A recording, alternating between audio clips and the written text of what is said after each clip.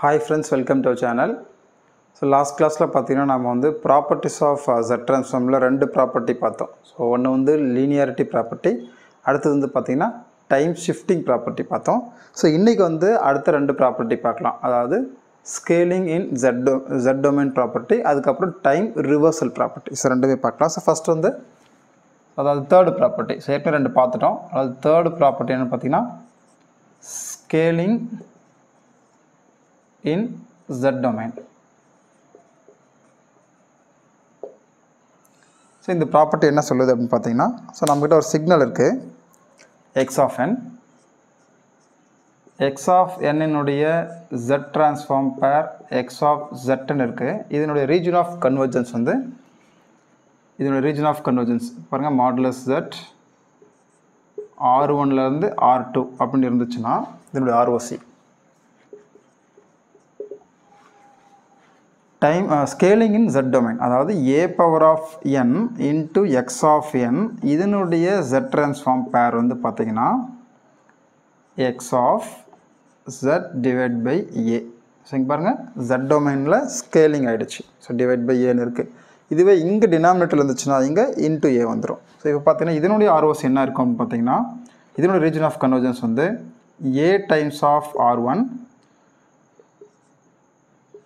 modulus of z into a times of r2 so இதுதான் வந்து பார்த்திங்கன்னா ரீஜன் ஆஃப் கன்வர்ஜன்ஸ் ஸோ இன்னும் சொல்ல போனால் நம்ம இங்கே ஏக்கு வந்து மாடுலஸ் போட்டுக்கலாம். இந்த ஏவோட வேல்யூ நெகட்டிவாகவும் இருக்கலாம். அதனால் A A modulus so modulus of A into R one less than R equal to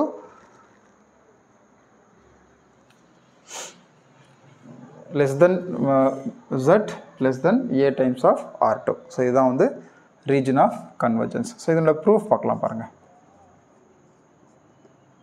so proof so as usual நமக்கு தெரியும். Z transform of A power of N into X of N so என்னவாக இருக்குன்னா summation N equal to minus infinity plus infinity. So X of எனுக்கு பதிலாக இது போடணும். அப்போ A power of N into X of N Z power of minus N so இதில் summation n equal to minus infinity plus infinity. சரி பாருங்கள் X of என் அப்படியே வச்சுக்கிறேன். ஏ ஸோ என் பவரில் n இருக்குது அப்போ A Z power of minus one whole power of so இப்போ கொஞ்சம் சேஞ்சஸ் பண்ணிக்கலாம். ஹோல் பவர் ஆஃப் n போடணும். பட் நமக்கு எனிவே ஸோ என்ன பண்ணுறோம் பாருங்கள் அதாவது A power of minus N அதாவது A power of minus one into Z power Z power of minus N so அப்போ இங்கே நீங்கள் minus one into minus N A power of N ஆகிடும் ஜெட்டுக்கு வந்து மைனஸ் என் வந்துடும் ஸோ இந்த மாதிரி நம்ம போடலாம். ஸோ இப்போ இதுலேருந்து பார்த்தீங்கன்னா ஸோ நமக்கு வந்து ஸோ நமக்கு தெரியும். அதாவது எக்ஸ் ஆஃப் ஜெட் அப்படின்றது என்னென்னு பார்த்தீங்கன்னா summation N equal to minus infinity plus infinity X of N Z power of minus N so அதாவது இந்த மாதிரி இருந்துச்சுன்னா ஸோ நாம் வந்து எக்ஸ் ஆஃப் ஜெட்னு எழுதிக்கலாம். ஸோ அதாவது இங்கே ஜெட் மட்டும் தான் இருக்குது ஜெட் எழுதிக்கலாம். ஸோ இங்கே வந்து பார்த்திங்கன்னா A inverse Z power of minus N இருக்குது ஸோ அப்போது X of A inverse Z எப்படின்னு எழுதிக்கலாம். ஸோ ஏ இன்வர்ஸ் ஜெட் அப்படின்னு எழுதிக்கலாம். ஸோ உங்களுக்கு புரிஞ்சுக்கணும்னு நினைக்கிறேன். So Z power of minus N X of N Z power of minus N இருந்துச்சுன்னா எக்ஸ் ஆஃப் ஜெட்னு எழுதிக்கலாம். பட் இந்த இடத்துல ஏ ஏ இன்வர்ஸ் ஜெட்டுன்னு இருக்குது அப்போது எக்ஸ் ஆஃப் ஏ இன்வர்ஸ் ஜெட்டுன்னு நம்ம எழுதிக்கலாம். அப்போ இது எப்படி எழுதலாம்? X of X of Z divide by A அப்படின்னு எழுதிக்கலாம். அப்போது இதனோட ரீஜன் ஆஃப் கன்வர்ஜன்ஸ் வந்து எக்ஸ் ஆஃப் ஜெட்னு இருந்திருக்கும். அப்போ ஆர் ஒன்லேருந்து ஆர் டூ அப்போது இதனுடைய ரீஜன் ஆஃப் கன்வர்ஜன்ஸ் வந்து ஆர் ஒன்லேருந்து ஆர் டூ தான் ஆர்ஓசி ஆனால் இங்கே ஜெட் பை ஏன்னு வரும். ஜட் டிவைட் பை ஏன்னு வரும். அப்போ இதிலிருந்து ஸோ இந்த ஏ வந்து uh, இந்த ஈக்குவாலிட்டிக்கு இந்த பக்கமும் ரைட் சைடு லெஃப்ட் சைடு நம்ம மல்டிப்ளை பண்ணும்போது modulus of A into R one less than modulus Z less than A modulus A into R two so இதுதான் வந்து ஆர்ஓசி ஸோ உங்களுக்கு புரிஞ்சிருக்குன்னு நினைக்கிறேன். இதுதான் வந்து scaling in Z domain so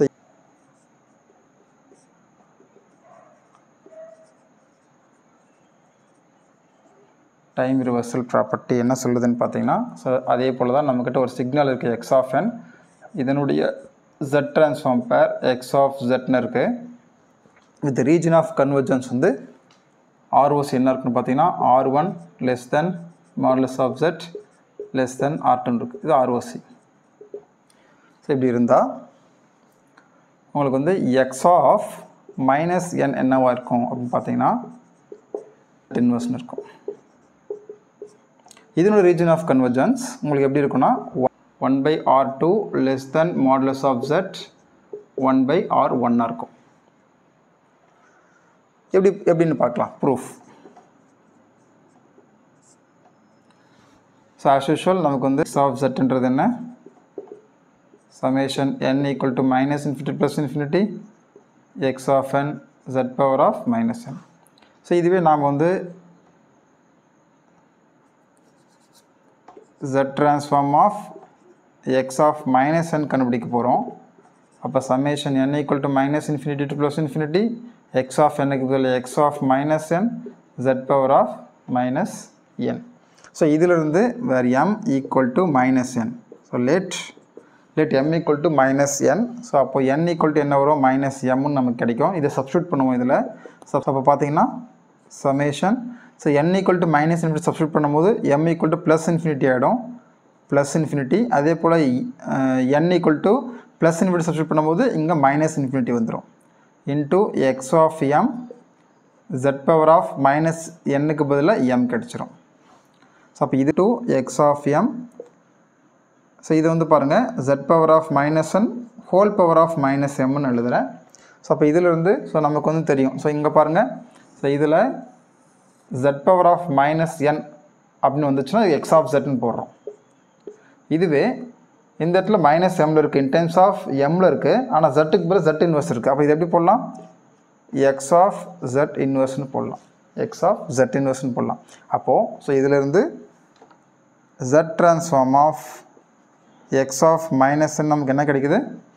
X of jet inverse இப்போ ROC எப்படி இருக்கும் அப்படின்னு பார்த்தீங்கன்னா ஆர்ஓசின்றது ஸோ இதுக்கு வந்து X of ஜெட்னா R one to R two so அப்போ இங்கே என்ன ஆகும்? ROC Z inverse R one R two so இந்த மாதிரி கிடைக்கும். ஸோ அப்போ இதிலிருந்து ஸோ ஒன் பை ஸோ இது நம்ம ஒன் பை போடும்போது என்னாகும் ஸோ இது வந்து ஃபஸ்ட்டு கம்மியாக இருக்குது இப்போ என்னாகும் அதிகமாகிடும் அப்போது one by R two so வேணால் இப்படி போட்டுக்கலாம் நீங்கள் one by R one greater than Z ஏன்னா நம்ம இன்வர்ஸ் எடுக்கிறோம். அப்போ ஜட் மட்டும் தான் கிடைக்கும். Greater than one by R two so இதுதான் நம்ம எப்படி எழுதுகிறோம் one by R two less than Z less than one by R one எழுதுகிறோம் ஸோ அதுதான் இங்கே எழுதியிருக்கோம். ஸோ இதுதான் உங்களுக்கு ஆர்ஓஸ் இது உங்களுக்கு புரிஞ்சிருக்குன்னு நினைக்கிறேன். ஸோ இங்கே ஜட் என்ன இருக்கலாம் நான் ரிவர் இன்வர்ஸ் எடுக்கிறேன் ஸோ ஈக்குவாலிட்டி லெஃப்ட் சைடுக்கும் ரைட் சைடுக்கும் நான் என்ன பண்ணுறேன் இன்வர்ஸ் எடுக்கிறேன். ஸோ இன்வர்ஸ் எடுக்கும்போது உங்களுக்கு என்ன ஆகும் இந்த இடத்துல ஒன் பை ஆர் ஒன்று வரும். பட் லெஸ் தென் சிம்பிள் என்னாலும் இங்கே கிரேட்டர் தென் சிம்பிளாக மாறிடும். ஜெட் இன்வர்ஸ் ஜெட்டாக மாறிடும். அதே போல் இங்கே less than simple greater than சிம்பிளாக மாறிடும். One by R two so இதுதான் நம்ம எப்படி எழுதுறோம்? திருப்பி எழுதுறோம். One by R two less than Z less than one by R one so இது ரொம்ப ரொம்ப இம்பார்ட்டண்ட்டு ஸோ டைம் ரிவர்சல் ப்ராப்பர்ட்டியில் ரீஜன் ஆஃப் கன்வர்ஜன்ஸ் கண்டிப்பாக உங்களுக்கு சேஞ்ச் ஆகும். ஸோ இதுவரையும் நம்ம பார்த்ததில் பார்த்தீங்கன்னா உங்களுக்கு டைம் ஸ்கேலிங்கில் மட்டும் தான் உங்களுக்கு ரீஜன் ஆஃப் கன்வர்ஜன்ஸ் மாறல. நாலு ப்ராப்பர்ட்டியில் ஃபஸ்ட்டு லீனியரிட்டி ப்ராப்பர்ட்டிலையும் பார்த்தீங்கன்னா நமக்கு வந்து ரீஜன் ஆஃப் கன்வர்ஜன்ஸ் சேஞ்ச் ஆச்சு. R one and R two so ரெண்டு சிக்னல் இருக்குது X one and X two ரெண்டு சிக்னல் இருக்குது அப்போ அதனுடைய region of convergence R one R டூவாக இருந்தால் இன்டர்செக்ஷன் ஆர் ஓவர்லாப்பிங்காக வந்தது நமக்கு லீனியரிட்டி ப்ராப்பர்ட்டியில் டைம் ஸ்கேலிங்கில் நமக்கு வந்து எந்த விதமான சேஞ்சஸும் இல்லை ஆர்ஓசியில் ரீஜன் ஆஃப் கன்வர்ஜன்ஸில் அதே போல் இதுக்கு முன்னாடி பார்த்தா scaling in Z domain so அதுலேயுமே நமக்கு வந்து ஆர்ஓசி மாறுச்சு. ஸோ இதுலேயும் நமக்கு வந்து டைம் ரிவர்ஸ்லையும் நமக்கு வந்து ஆர்ஓசி மாறிருக்கு ஸோ இதெல்லாம் உங்களுக்கு வந்து ஸ்டேட்டாகவே வந்து காம்படிட்டிவ் எக்ஸாம் பாயிண்ட் ஆஃப் வியூவில் இந்த ப்ராப்பர்ட்டிஸை ஸ்ட்ரெயிட்டாகவே கேட்பாங்க. ஸோ இன் ஃபியூச்சரில் அதாவது வரக்கூடிய கம்மிங் வீடியோஸில் நம்ம இந்த ப்ராப்பர்ட்டி யூஸ் ப்ராப்பர்ட்டிஸ் யூஸ் பண்ணி ப்ராப்ளம்ஸ் நம்ம சால்வ் பண்ணலாம். ஸோ நெக்ஸ்ட் கிளாஸில் பார்த்தீங்கன்னா நம்ம அடுத்த ரெண்டு ப்ராப்பர்ட்டி பார்க்கலாம். Thank you friends